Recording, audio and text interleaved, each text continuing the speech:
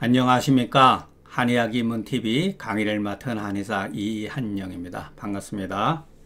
예, 근데 그 그제 어제 아니 어제죠? 어제 제가 그 이제 한 일주일 뒤에 그 방송으로 이제 올릴 그 예정에 있는 내용이 내용 중에 약간 저도 이렇게 하다 보면은 잘 풀리는 날이 있고 잘 안 풀리는 날이 있어요.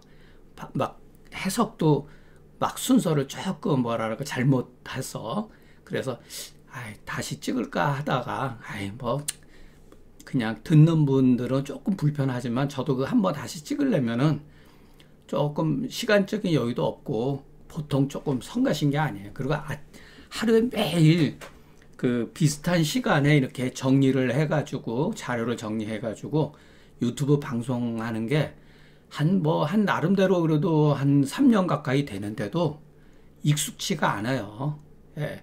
그러니 전문적으로 그 방송을 하시는 분들은 그 스트레스가 제가 봤을 때 그 긴장이라든가 이런 거는 어마어마할 것 같아요. 유튜브는야 그냥 또 누구하고 이렇게 뭐 편하게 하는 거잖아요. 유튜브는 뭐 정상적인 그런 게 아니고 제가 또 많은 회원들한테 무슨 그 뭐 인기가 있어서 그러는 게 아니라 아주 극소수의 제가 처음에 생각했을 때는 회원들이 한 그래도 뭐 한 200명 정도만 돼도 저는 뭐 예, 200분 정도만 돼도 뭐 만족을 했는데 어느새 보니까 예, 벌써 이제 한 700 지금 30분이 예, 들어와 계시더라고요. 예. 참 뭐라 그럴까? 우리 한의사 인구 다 합쳐봐야 한 3만 명 조금 안 되는데 어 저는 뭐 올 연말 뭐 조만간에 한 1000명 정도만 하면 뭐 대만족 뭐 하는 편이니까. 그러나 얼마나 많은 사람이 듣는 게 문제가 아니라 정말로 서로 의견이 제가 말하는 게 다 받아들일 수 없다는 거 알아요. 저도. 여러분들이 아 저 사람 무슨 얘기를 하나 하고 아 그렇구나 새로운 어떤 해석에 대해서 그 눈을 뜨는 경우도 있지만 불편한 경우도 없잖아 있어요. 예. 그러면 이한영 저 사람은 왜 기존에 이와 같은 그 책이나 우리가 일반적인 한의사들이 보편적으로 말하는 데에 대해서 자꾸만 저렇게 시비를 걸고 반론을 제기할까라고 이렇게 의심만 해주셔도 저는 굉장히 큰 그 뭐랄까 우리 그 한의학 발전에 나름대로 조금 뭐 기여를 그 뭐 했다고 그렇게 생각이 듭니다. 예. 또 설령 그 거의 뭐 제가 그 우리 한의사 사회에서 뭐 뭐랄까 그 외톨이가 돼도 저는 원래가 무슨 뭐 크게 바라고 시작한 건 아니에요. 다만 이렇게 생각하는 사람도 있었다고 하는 것을 우리 한의사 사회에 하나의 발자취를 남기는 것만 해도 네, 누가 좋다 나쁘다 그런 것을 떠나가지고 내가 할 수 있는 역량을 최대한 발휘를 해서 기록으로 남기는 것만 해도 저는 제 소임을 뭐 다 했다고 보는 예, 사람입니다. 예. 자, 그럼 오늘 우리가 음식에 대해서 질문하는데 한번 예, 알아보겠습니다. 자, 음식을 물는 것은 이제 장경학이 입장에서 볼 때는 이제 그 두 가지가 있다고 이제 이렇게 본 거예요. 위구의 청탁을 살피고 장부의 음향을 예, 관찰하니 뭐 이런 것은 뭐 전형적인 어떤 특별한 솔직히 얘기해서 뭐 특별한 뭐 내용이 없는 거죠. 예. 위의 청탁은 또 뭐죠? 예, 위의 청탁, 위구의 청탁. 예. 아, 이것도 뭐 상당히, 예, 좀 문제 삼자으로만 문제 삼고, 그냥 아무 생각도 없이, 그래, 그냥 한번 읽어보자, 그러면 뭐 의미도 없이 그냥 넘어갈 수가 있어요. 예. 또 장부의 또 음향을 살필 수가 있다. 예. 병이 외감으로 말미암아서 음식에 그 이렇게 끝이지 않는 거, 음식 먹는 거를 뭐 이렇게 중단하지 않는 경우에 아 사기가 아직 장에는 미치지 못했다는 것을 우리가 이해를 하게 되면 그 식사를 싫어하거나 싫어하지 않는 것을 우리가 알 수가 있고 이렇게 글들이 다 이렇게 사실은 붙어져 있는데 어떻게 글을 끊는 끊느냐는 글을 가만히 보면 대꾸로 되어 있기 때문에 그 글이 어서 끝나요. 여기서도 보면 이렇게 끝나잖아요. 그러니까 병이 외감으로 말미암았다 그러면 그 다음에 병이 내상으로 인했다 이렇게 쓰잖아요. 대꾸로. 예. 그리고 글 쓰는 방식도 문장의 스타일도 거의 같잖아요. 음식에 음식 먹는 게 내상으로 인해 가지고 음식 먹는 게 평상시와 변한 경우에는 그 입맛에 좋고 맛에 좋고 싫어하는 것을 구별하게 되면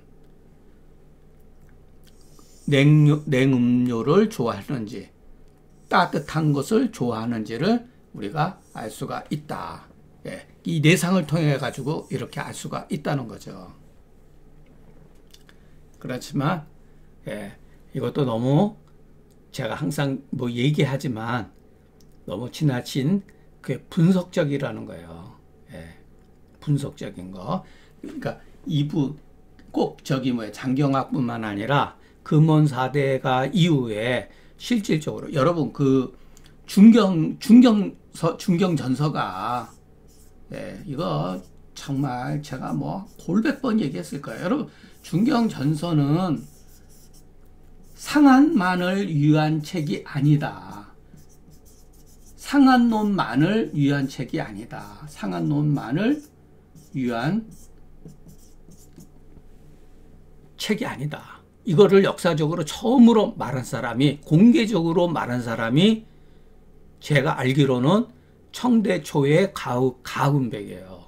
상한 논익에서 보면은 이거 이 문제에 대해서 저는 가금이 그 한해양 역사에서 지대한 공을 세웠다 그러면은 바로 이 한마디라고 예, 볼 수가 있어요. 그리고 이분은 평생에 걸쳐서 그 상한 그러니까 중경서에 대해서 그 나름대로 많은 좋은 글도 많이 썼지만 제가 그분을 대표적으로 공격하는 것은 그분은 굉장히 뛰어난 분이기 때문에 다른 사람은 거론할 것도 없어요, 사실은. 예. 워낙 뛰어났지만 그 사람의 해석하기에 있어서는 제가 받아들일 수 없는 게 너무 많기 때문에. 왜냐하면 그분도 역시 마찬가지로 내경을 가지고 예, 해석한 부분이 너무 많다는 것. 예. 그래서 그러는 거예요. 자, 이렇게 외감과 내상으로 구별할 수는 있습니다. 예. 그러나 어느 쪽에 더 편중되어 있는가에 따라서 판단을 해야지 전적으로 외감이고 이것은 전적으로 내상이다 이렇게 생각하면 안 된다는 거죠. 예. 그래서 이런 글들을 나중에 우리가 그 어떤 그 깊이 생각을 하게 되면은 그리고 임상을 통해서 하다 보면은 이런 문제점이 이것이 이 글이 가지고 있는 문제점을 알게 되죠. 예. 그리고 우리도 마찬가지로 우리가 주로 동의보감에도 상한론 파트가 있지만은 의학인문에도 주로 자병만 봐요. 예. 자병이 병 같거든요. 외감은 그, 그까지 그 감기 이렇게 생각한단 말이에요. 그러면은 중경서가 가지고 있는 우리 한의학이 가지고 있는 굉장히 좋은 그 통합적 사고 방식을 갖지 못하는 거예요. 예. 제가 그랬잖아요. 일본 최 처음에 고방가들 가운데 상한 가운데 만병이 있고 만병 가운데 상한이 있다. 예. 이것은 물론 외감이 전적으로 외감이 중요한 경우도 있고 내상이 중요한 경우도 있지만 상당 부분은 외감과 내상이 이렇게 서로 연계되어 있다라는 것을 우리가 인지해야 된다는 거예요. 만약의 경우 이것을 구분하게 되, 하게 되면은 게지탕이나 마왕탕을 거의 우리 한의사들이 죽을 때까지 쓸 일이 없다는 거예요. 왜? 외감, 외감이 뭔지도 잘 인식을 못 하니까요. 예. 외감이 감기라고 하는 사실은 누구나 알고 있지만 증상이 없는 가운데도 우리는 외감에 항상 노출되어 있는 거예요. 그것이 병증으로 나타나지 않았을 뿐이지 우리는 이미 태어나서 죽을 때까지 외감에 항상 노출되어 있기 때문에 이것을 이렇게 우리가 의학에 있어서 이렇게 동떨어져서 구분해서 이렇게 생각하는 게 문제점이 있다는 거예요. 예, 이런 얘기는 사실 뭐 하면은 여러분 짜증낸다는 거 저도 잘 알고 있지만 글이 이렇게 나오니까 계속 이런 식으로 나오니까 제가 비판하지 않을 수가 없는 거죠.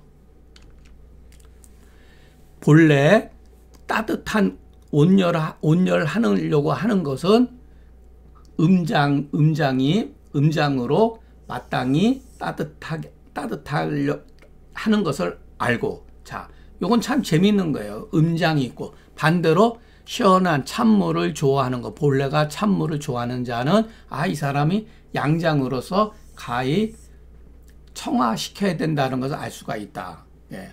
저는 이것은, 예, 있다고 봅니다. 예. 저 같은 경우는 다소 그 양장이라고 봐야 돼요. 예. 그러나 음장도 굉장히 많기 때문에 물 같은 경우도 미지근한 물이나 따뜻해 여름이라 할지라도 예. 제 선생님이 그참 지금 생각하면은 뭐 제가 두 분을 모셨다 그랬잖아요. 한문 제가 한문을 공부하신 분하고 한의학은 제가 딱 1년 같이 해서 도제식으로 그분한테 배웠는데 참 재밌는 말을 많이 해주셨는데 아마 1년 동안 똑같은 얘기를 한 수천 번 했어요. 예. 그분은 약간 이 음장이셨어요. 그런데 뭐냐면 찬 음식은 이런 한랭한 음식은 입은 즐겁지만 위는 즐거운 것은 아니다 이렇게 얘기했어요. 그게 참 재밌는 얘기예요. 예. 그래서 그 물이라고 하는 것이 사람에 따라서 온 그 뭐랄까 미지근함으로 누구한테나 좋지만 사실 저같이 약간 양장인 이와 같은 체질에 있는 사람들은 그 습관적으로 이 찬물을 찾게 돼 있어요. 근데 그 선생님이 있을 때는 이 찬물을 저도 못 먹었어요. 냉장고에 있는 걸. 항상 미지근한 물을 먹었고. 예. 아주 그냥 철도철미하셨으니까, 그분은. 그런데 혹 구복기 실절에서 아 참. 그리고 지나가는 길에 이 입이라고 하는 게 뭐냐. 이그 고방에서 옛날 사람이 말하는 이 위라고 하는 게 도대체 위가 위가 뭐냐라고 했을 때 입 정말로 위, 그 다음에 항문. 네, 항문. 이게 소화기 계통의 그것을 통칭으로 위라고 이렇게 표현했다는 거예요. 위라고 하는 거는 꼭 위장만 말하는 게 아니라 소화기 전체를 말한다. 네, 옛날 사람들이 소화기. 아, 위 중에 조시가 있다고 하는데 그게 말이 됩니까? 안 되죠. 예. 그 대장에 조시가 있다는 얘기죠. 그러니까 우리가 그런 거는 그냥 옛날 사람들이 그 문자를 선택하는 데 있어서 그냥 이렇게 상당히 포괄적으로 했다. 예. 소화기, 입, 정말로 위, 그 다음에 항문을 다 통칭해서 위라고 하는 경우도 있다. 예, 그렇게 생각을 하시면 좋겠습니다.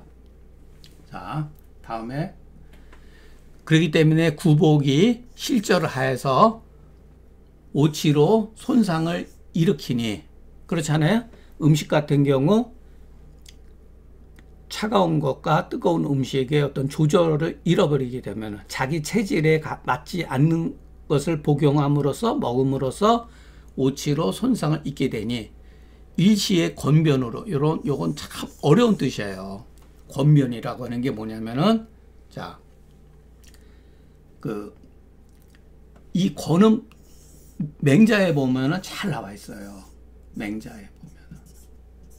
자, 맹자에 어떤 말이 있냐면은 형수가 물에 빠, 남녀지간에는 수수불친이에요. 서로 손을 맞잡지 않은 거예요. 이거 옛날 법도니까 그냥 이해를 하세요. 예. 옛날 뭐, 뭐 맹자가 살았던 시대에 그 모든 사람이 그런 건 아닌데 서로 남녀지간에 손을 잡지 않았다는 거예요. 예. 그런데 형수가 물에 빠졌을 때는 어떡하죠? 손을 내밀어서 형수의 손을 잡아야죠. 그게 권도예요. 정상 상태가 아닌 시기의 어떤 문제, 그건 정상이 안 된 어떤 변화에 이 권이라고 하는 거는 저울의 저울. 저울로서 이렇게 마땅하게 다는 거예요. 변에 처하는 거예요. 그러니까 상도가 있고 변도가 있으니까 남녀 수수불치는 상도죠. 일반적인 도죠. 그러나 형수가 물에 빠졌을 때 형수의 손을 잡는 것은 일종의 권도죠. 예, 그런 거예요. 그러니까 일시란 말이 그래서 쓴 거예요. 어떤 시기의 상황의 어떠한 합리적인 방법으로 가히 그것을 인해서 구별하라. 고로 음식의 성정을 마땅히 자세히 살피고 약물에 마땅하고 마땅하지 않은 것을 예, 마땅한 거 마땅하지 않은 것으로서 가히 이것으로서 밀어 나가야 된다. 예. 요 여기 이는 요거에 걸리는 거죠. 이 이는 요거에 걸리는 거죠. 예. 그러니까 이런 거는 우리가 그 이렇게 임상 경험을 통해 가지고서 체질을 우리가 사상학을 제가 뭐 공부는 뭐 안 했어도 아 체질이라는 건 있다라는 걸 알, 알게 되죠. 예. 왜냐면은 떡 한 쪽 먹고도 체할 수도 있고 어떤 사람은 아무리 저거 해도 체, 잘 체기, 체를 뭐 체하지 않는 사람이 있는 반면에 조금만 과식해도 체하기도 하고 이상한 음식을 먹어도 체하고 그런 사람들이 있잖아요. 예. 그렇기 때문에 약물에 어떤 약이 맞는지 맞, 마땅하지 않는지 그것으로 인해서 미뤄 나가라 이런 소리죠. 예. 그건 뭐 깊은 내용 없어요. 여러분 가만히 보면은 결국은 뭐냐면은 한열이죠. 한열. 예. 모든 것은 한열로 규정이 된다. 예. 근데 전적 전반적으로 찬 사람들은 소위 말해서 우리가 음, 음이라고 하고 어떨 때는 허라, 허라고 이렇게 달리 부르는 거죠. 그러니까 열 같은 경우는 실이고 아이고 양이고 실이죠. 상대적인 거니까. 예. 그러니까 한열 밖에 음양이 있고 허실이 있는 게 아니라는 거예요. 그러니까 너무 그 용어를 이렇게 분석적으로 해석할 필요는 없는 거죠. 자, 일반적으로 모든 병에 모든 병이 있는데 음식을 먹어서 조금 안정이 되면 편안해지면 이것은 허증이며 자, 감기 몸살 어떤 사람은 음식을 잘 먹었더니 어 기운이 나면서 병을 이겼다. 이게 허증이라는 거예요. 이것은 장경하게 논리예요. 이것을 정론이라고 우리가 할 필요는 없어요. 그러니까 굳이 이런 말을 쓸 필요가 없는 없죠. 예. 이런 말을 쓸 필요가 없는 거예요. 음식을 먹었는데 더 다시 심해지는 것은 혹 허, 하기도 하고 혹실 하니 모두 있, 으니 마땅히 구별해서 치료하라. 그러니까 이런 말이 뭐왜왜 필요하죠? 이런 말이 예. 상, 상, 상, 상황에 따라서 사람에 따라서 음식을 먹고 편안해지는 경우가 있고 음식을 먹고 더 나빠지는 경우가 있는 거죠. 어떤 경우는 혹 허하기도 하고 어떤 경우 혹 싫어하다가 이게 뭐예요 이런 게 의미 없는 말이죠 이런 것은 그래서 우리가 예과나 무슨 학생 시절이나 임상 초년생 같으면은 아 이런 말 들으면 얼마나 멋지 멋집니까 홀라당 다 넘어가죠 그러나 여러분 나이가 최소한도 뭐 40세 넘어가고 50대 이미 넘어가면은 어느 정도는 다 눈에 떠, 떠요. 그렇기 때문에 이런 걸 보면은 이런 것들이 이렇게 절실한 표현이 아니라는 것을 알게 되죠. 자, 음식에 대해서 한, 한 가지 얘기를 했어요. 음식이 얼마만큼 우리가 식적, 뭐, 식적이라고 해도 되고 예. 우리가 체한다 뭐 이런 말도 쓰죠. 체한다. 체기가 있다. 제가 이전에 한번 지나가는 소리 했는데 제가 어떤 지방에 있었을 때 매일 침 맞으러 오시는 그 어르신이 계셨어요. 근데 어느 순간 안 오시더라고요. 습관적으로 매일 오시던 분인데 비교적 건강하고. 아 근데 이분이 나중에 이제 그 이웃분이 오셔가지고 누구누구 아시죠? 그래서 아 네. 요즘에 안 오시네. 아 그분 돌아가셨어요. 그랬더니 아 왜요? 그랬더니 관광 놀러 가셔가지고 관광버스에서 나누어지는 그 떡 하나 잡수셨는데 그게 얹혀버린 거예요. 그게 얹혀가지고 바로 심장에 쇼크, 예, 심장에 무리가, 무, 무리가 간 거예요. 그래서 손 쓸 틈도 없이 바로 그냥 뭐 의식불명이 돼가지고 돌아가셨다고 그러더라고요. 그러니까 음식이 그 예를 들어서 문제가 될 때는 정말로 무서워요. 음식의 그 체한 그 자체가 문제가 아니라 바로 어떤 그 뭐랄까 심장에 무리를 줘가지고 예, 채기가 이렇게 무서, 무섭습니다. 예.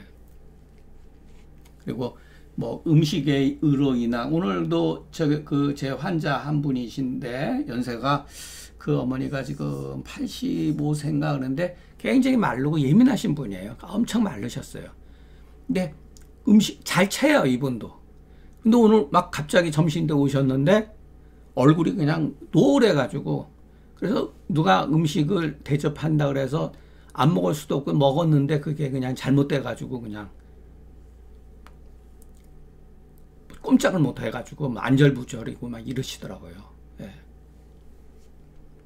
그래서 뭐 약 전부 다 시골에 계신 분들은 약 쓸 형편도 안 되고 예.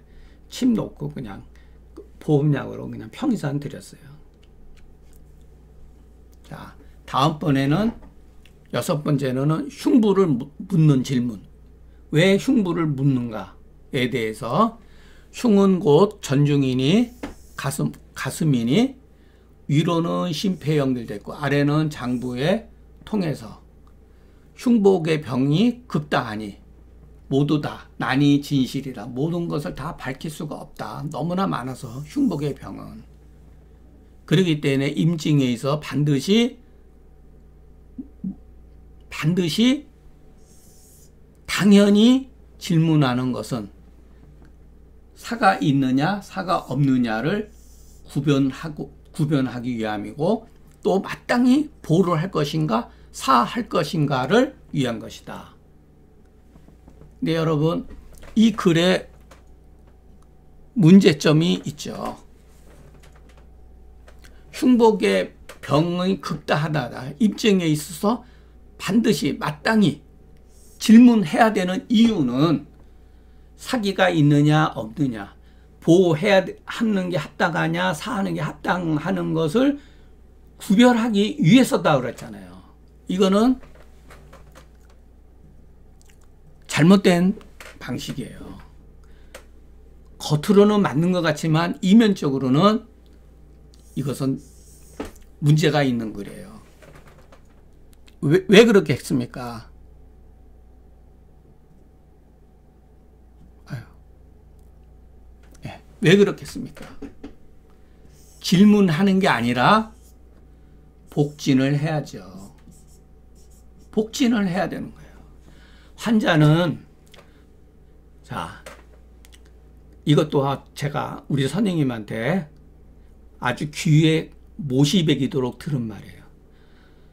사, 환, 사람의 입은 속일 수가 있지만 사람의 몸은 속일 수가 없다 그랬어요. 그분은. 그래서 환자가 말하는 것을 참고할 수는 있어도 전적으로 믿으면 안 돼요. 어떤 경우는 환자가 자기의 어떤 그 문제점, 사적인 문제를 감추기 위해서 약간 변명하는 경우도 있어요. 그러나 몸이라고 하는 것은, 환자의 몸이라고 하는 것은 말로써 하지 못하고 그대로 드러나는 거기 때문에 환자, 의사가, 환자가 또 그 사람의 그 지식이라든가 이런 거에 의해 가지고서 잘 표현하기도 하지만 잘 표현하지 못하는 경우도 있어요. 예, 배가 아프다. 이 끝난 게 아니죠. 사가 있느냐 없느냐 이게 중요한 게 아니라 복진의 상태가 어떤가 이것을 파악해야죠. 그러니까 중경선은 항상 복진을 근거로 해서 글을 쓴 반면에 이 사람들은 장경학은 이렇게 많은 글을 쓰는 가운데 복, 흉복이 중요한 이유를 기껏해야 위로는 심폐에 연결되고 아래는 장부에 통한다고 이렇게 말을 했, 했지 실질적으로 복진이 왜 중요한가에 대해서 기술하는 게 없다는 얘기예요. 그럼 우리 한의학이 얼마나 근거주의에서 관념주의로 빠졌다는 걸 알 수가 있죠. 예.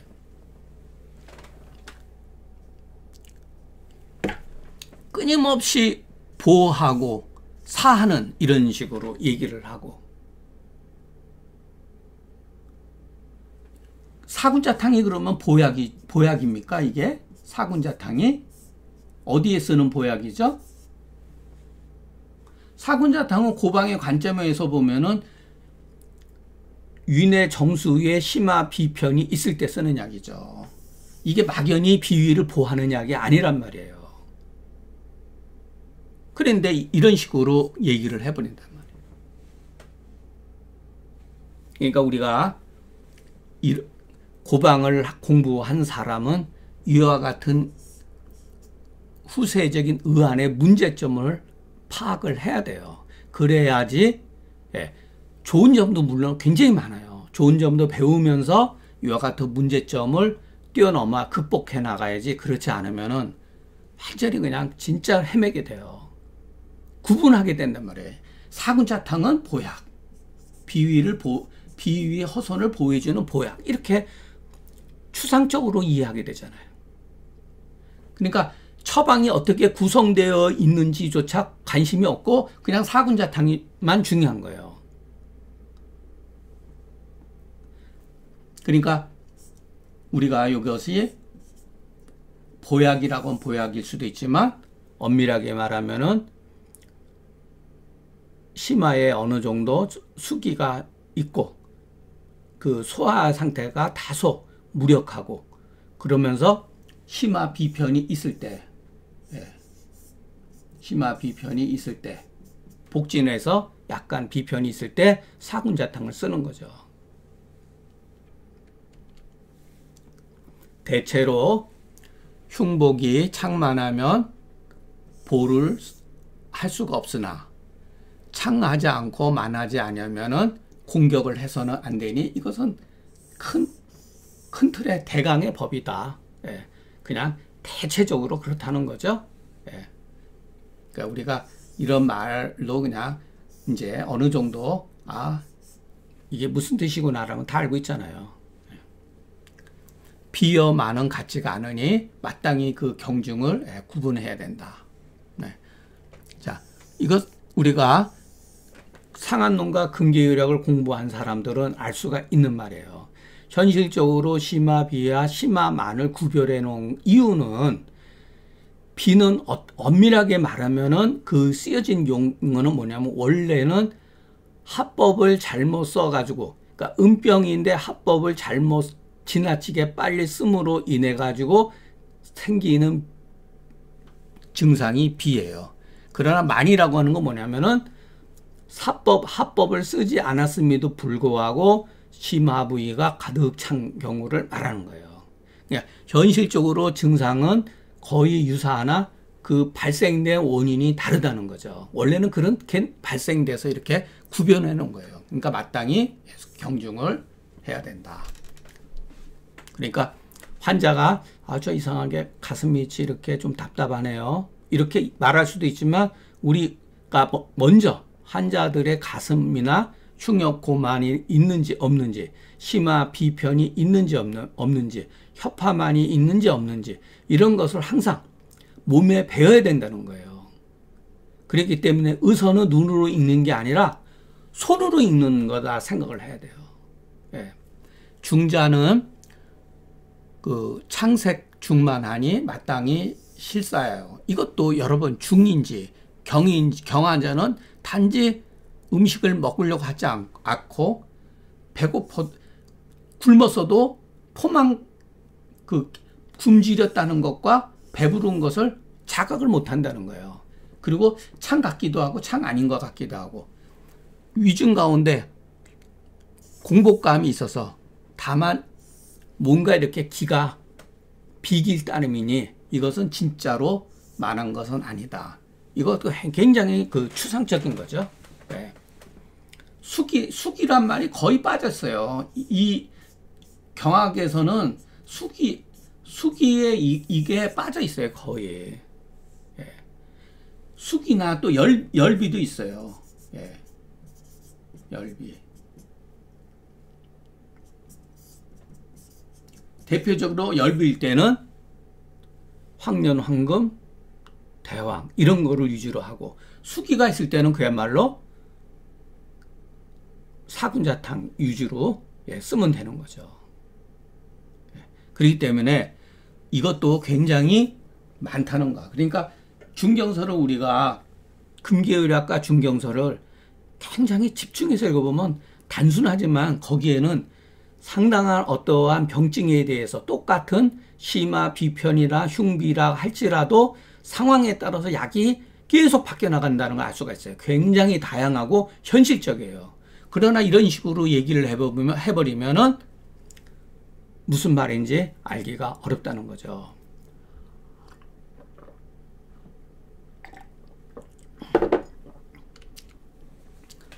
그런데 이 경우 혹 사기가 흉중에 빠, 빠지는 경우도 있고 비가 허해서 기운이 전기가 운행하지 못하는 경우도 있으니 아, 참 이분도 엄청 이, 이런 말 좋아하죠. 예.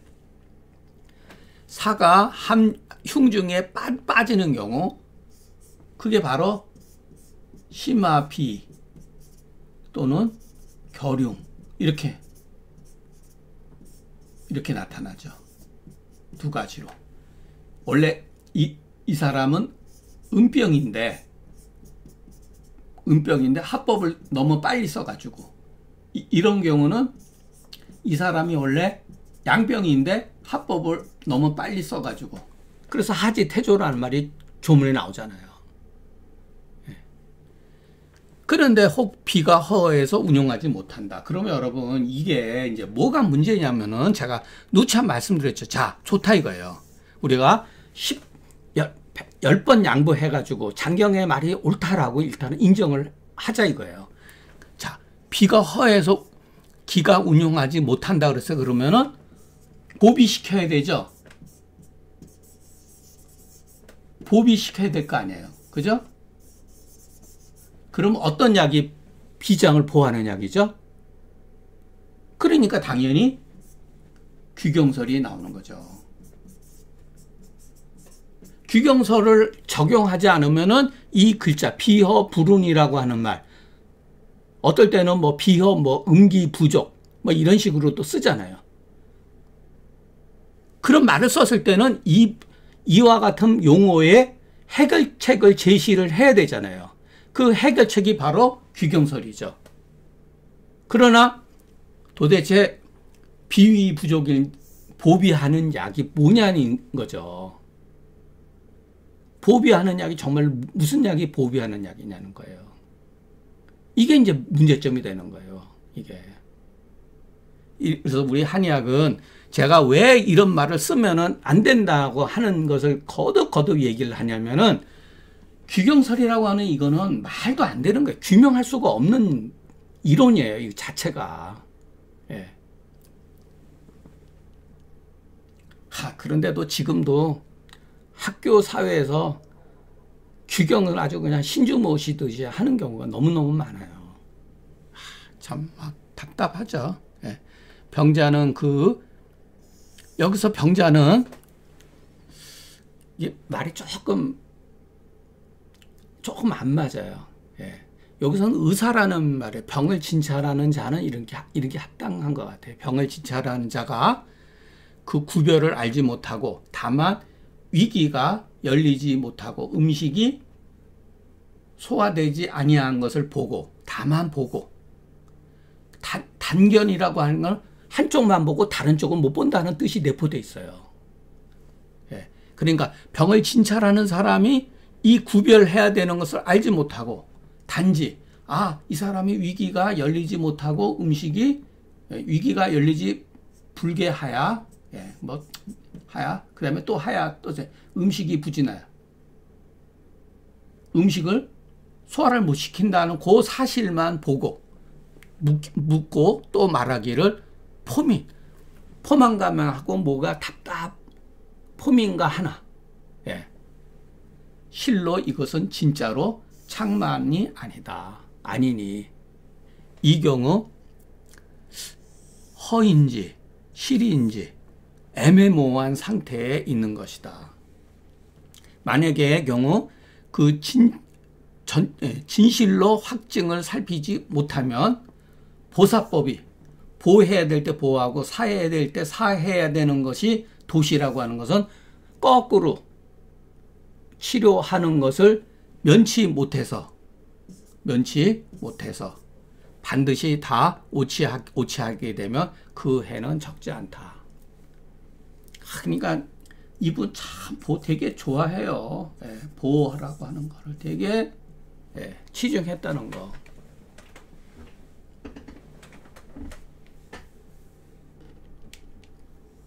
그러니까 우리가 그 복진을 해가지고서 이런 경우 있, 있죠. 위기, 요즘에 말하면 위하수라든가 위기, 위, 위장의 무력. 예를 들어서 그 건강한 사람은 위, 위장이 여기 위치에 있다고 하면은 위하수나 위무력은 이게 위장이 약간 내려간대요. 예, 조금 내려간다 그러다 처진다고 위기능이 무력해지는 게 바로 이런 거거든요. 예. 그러면 이것은 엄밀하게 말하면은 위내 정수증이 오랫동안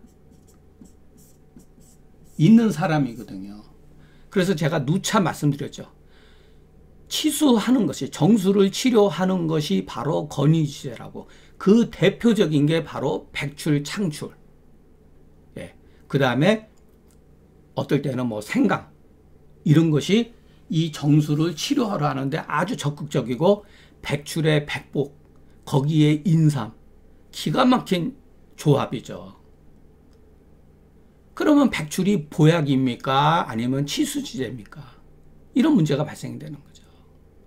그래서 우리가 한의학을 근거주의에서 최소한도 정수라고 하는 개념이 이것도 약간의 가설이지만 이것은 입증이 되는 가설이잖아요. 근데 비허 불운이라고 하는 것은 문제가 있잖아요. 이것은. 그러니까 때문에 백출이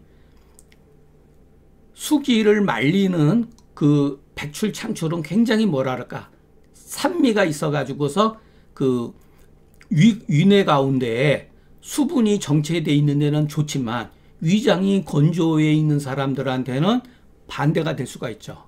소화가 더 안 돼요. 예, 소화가 더 안 되는 거예요. 그래서 백출이 소화제라고 생각하면 안 된다는 얘기예요.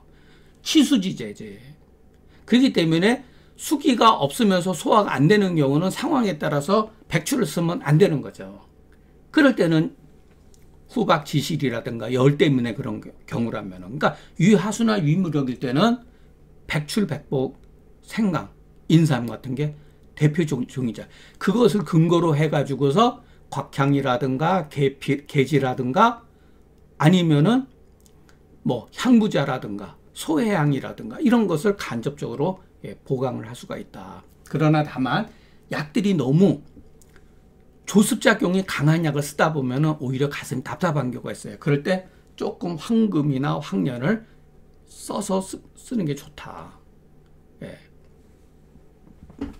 고방에서 우리가 그 뭐랄까 나름대로 이것을 응용을 해가지고 후세방을 응용을 하면은 그렇다는 얘기.